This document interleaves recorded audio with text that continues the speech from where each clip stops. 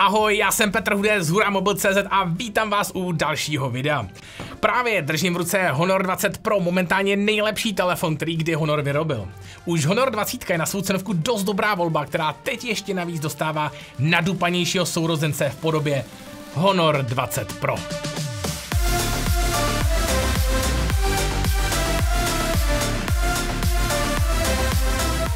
Jestli se vám líbil netradiční design Honoru View 20 s vygravírovaným Včkem na zádech, budete přímo slintat blahem nad tím, co předvádí Honor 20 Pro.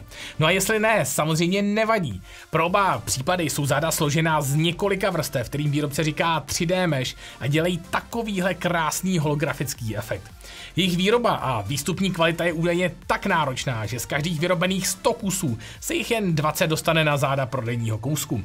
Není to sice nic, co by někoho muselo tak úplně ohromit, ale za zmínku to podle mě rozhodně stálo. Kromě téhleté modrozelené varianty, kterou držím v ruce k dispozici ještě černofialová, působící daleko luxusnějším dojmem. Na zádech si určitě nejde nevšimnout toho obrovského semaforu fotoaparátu. Jsou celkem čtyři v konfiguraci hlavní, šíro, trojnásobný zoom a čtvrtý, tady ten malinkatý, je pro makrofotky. Jeho výsledkem jsou pouze 2 megapixelové snímky s pevným ostřícím bodem 4 cm, no a upřímně daleko hezčích fotek dosáhnete díky 8 megapixelovým foťáku s trojnásobným optickým zoomem. Z něj jsem byl opravdu tak nadšený, protože takhle, takhle nějak si totiž na mobilu představuju krásné fotky s přirozeně rozostřeným pozadím. No a je jedno, jestli foťák použijete na nějaký detail nebo na osobu. Jinou nevýhodou je světelnost f2.4, která se projeví při horších světelných podmínkách zrnitější fotkou. Výhodou naopak je, že tenhle ten zoomový foťák má i optickou stabilizaci, což dovoluje o trošičku delší expoziční časy.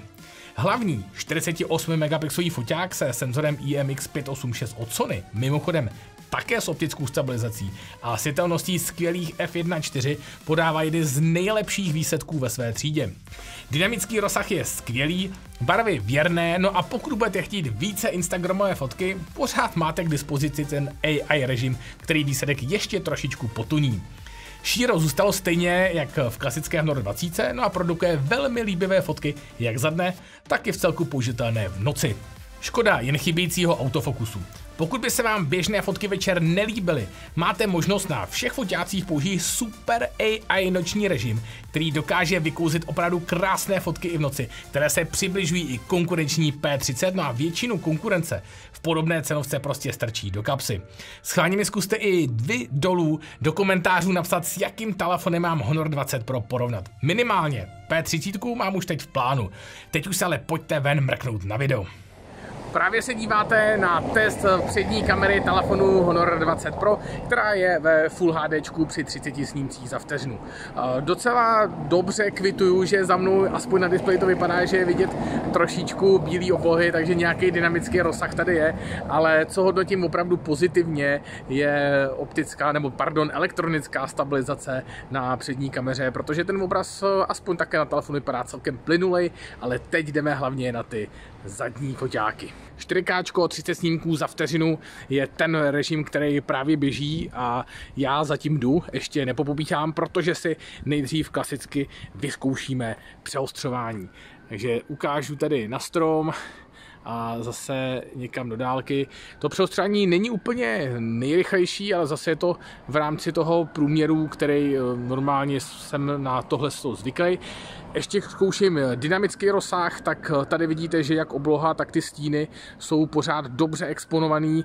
Zkusím ještě popoběhnout, aby jsme viděli, jak funguje nebo nefunguje eh, stabilizace a přepnu se do Full HD. Tak, díváte se na Full HD při 60 snímcích za vteřinu. Zase zkouším eh, peny nebo tilty a zase popojdu tady ke stromu a rychlost přeostřování vidíte sami a ještě si vyzkoušíme stabilizaci, která tady relativně aspoň se zdá, že velmi dobře funguje. Tak, teď už si díváte ve Full HD při 30 snímcích za vteřinu. Předpokládám, že přeostřování zase nebude vůbec žádný problém, stejně tak jako dynamický rozsah, ten je tady v pohodě, takže si zase vyzkoušíme už jenom po poběhnutí a videotest máme právě za sebou a jdeme zpátky do studia.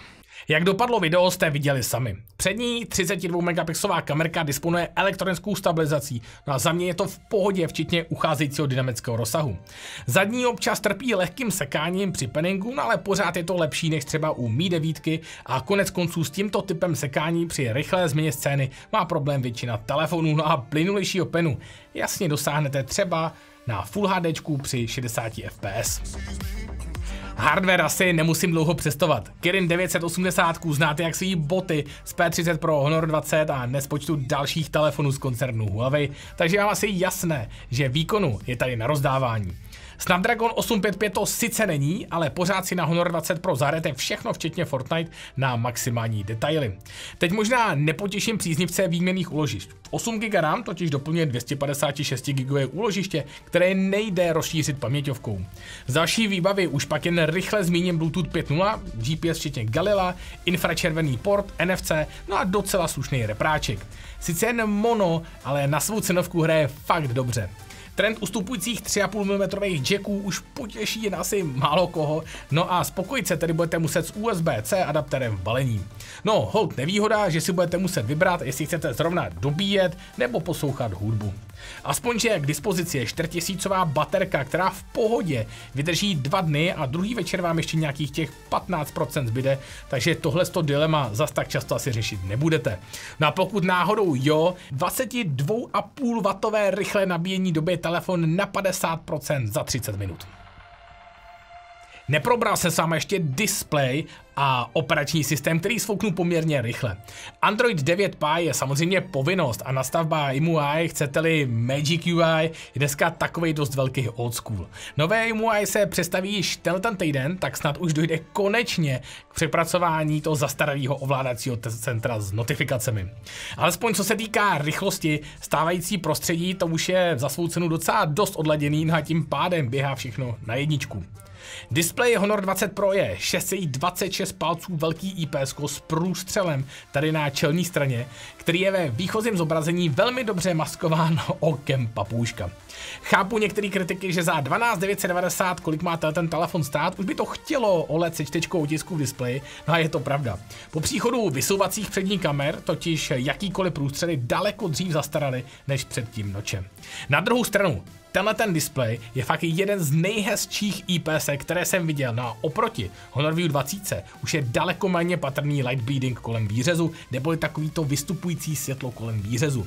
No a ta čtečka otisku prstů, ta není ani v displeji, ani na zádech, no ale je kompromisně umístěna na boku v zapínacím tlačítku, no a je velmi rychlá a spolehlivá. Honor 20 Pro je za svou momentálně dumpingovou cenu jeden z žhavých aspirantů na prodejní hit podzimu. Přece jen cenovka 12990 je vzhledem ke kvalitě foťáků a hardwareové výbavě velmi atraktivní. Jako přímého konkurenta vidím Zenfone 6, Xiaomi Mi 9 nebo Huawei P30. Každý z těchto telefonů je v něčem lepší a v něčem zase horší. Detailní rozbor rozdílů si samozřejmě řekneme v některé z dalších porovnávaček.